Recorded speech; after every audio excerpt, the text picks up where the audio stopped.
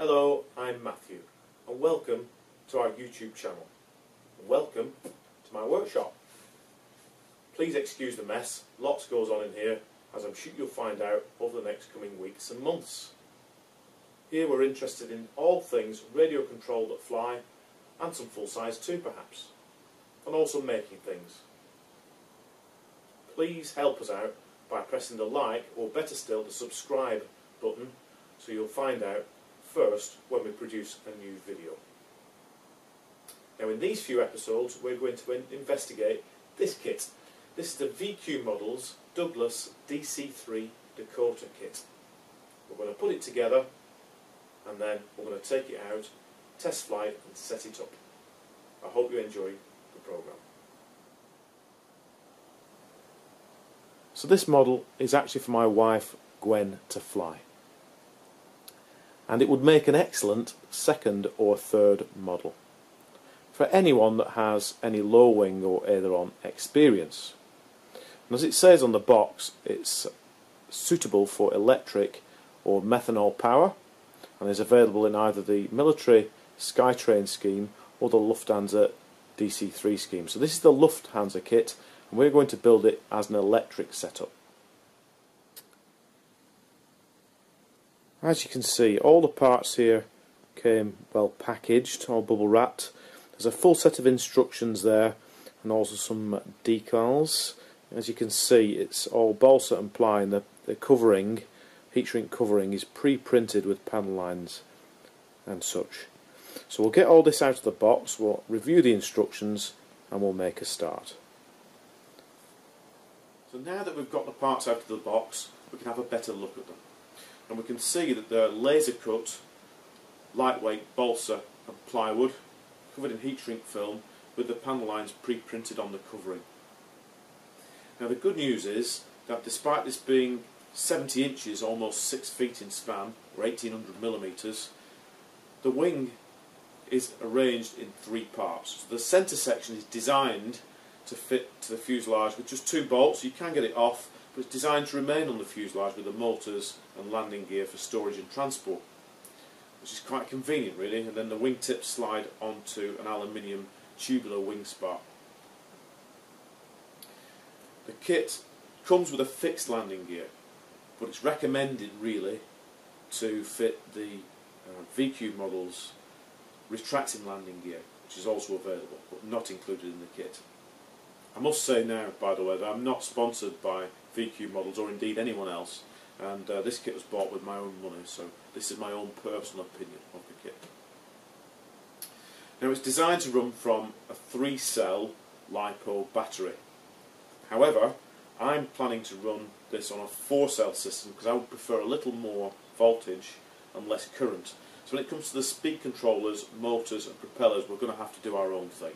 But not to worry, we'll be more on that later.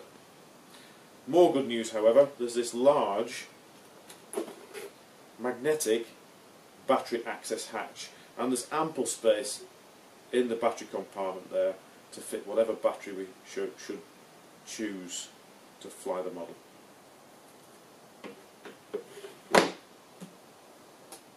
So, the build of this almost ready to fly aircraft begins with a review of the instruction manual. The instructions for this model are quite clear. They're quite comprehensive, but there are a few pointers here and there which could really use a bit of expansion, particularly for the novice builder. I'm not going to give a blow-by-blow -blow account of how this model is put together, however, where there are some pointers that could really use some expansion, we'll go into a little more detail. So the construction starts with the wing centre section. Here we go. And the cutouts to modify the wing centre section to allow the retracting landing gear. Now I've drawn in pencil here where the cuts actually should be. I've, measured the width of the landing gear system supplied by VQ models and if you cut according to where the lines are drawn in the instructions the hole won't be big enough. So I've just marked this onto the centre section of the wings with a sharpie just so and we're going to cut this out with a razor saw. So I've lifted the wing section up on this section of foam so that I don't mark anything and we're going to cut this out here with the razor saw. So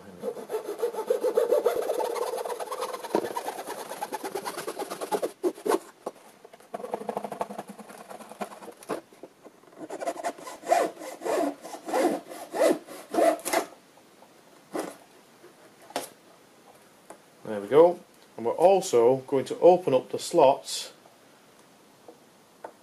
Difficult to see on film maybe, but for the um, nacelle structure.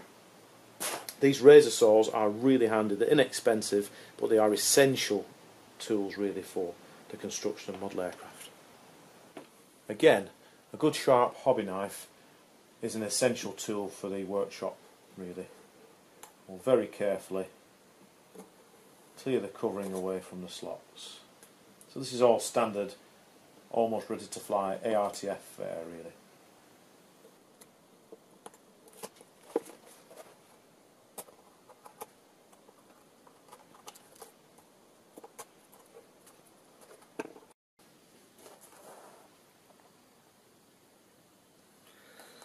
So here, before we reach for the glue, now we've cleared out the slots and I've just eased them a little with a Perma-Grit file.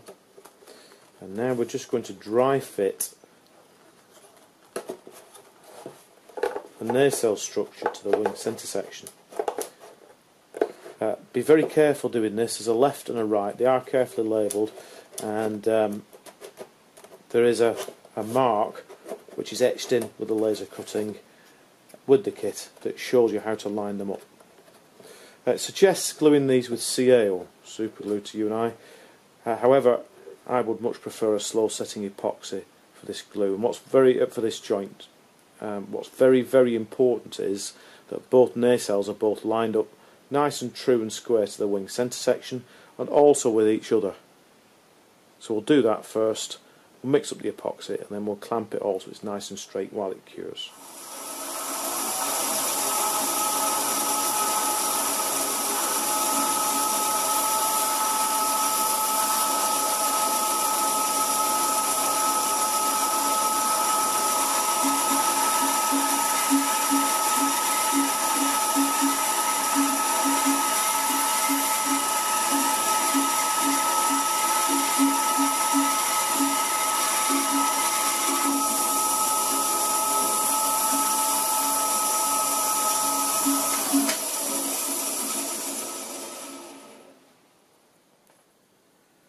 So here we are with the parts now clamped, all set up, waiting for the epoxy to cure. So you saw there how I made the, these uh, small balsa infill wedges by angling the table on the bandsaw. If you don't have a bandsaw, you could of course, use the razor saw that we used earlier and a sanding block and a bit of scrap balsa. So these parts are not included in the kit, however they add a tremendous amount of strength to the firewall to nacelle joint for very little increase in weight. And once the glue is completely cured we'll just trim uh, these back with a sanding block uh, so that they fit within the cowl.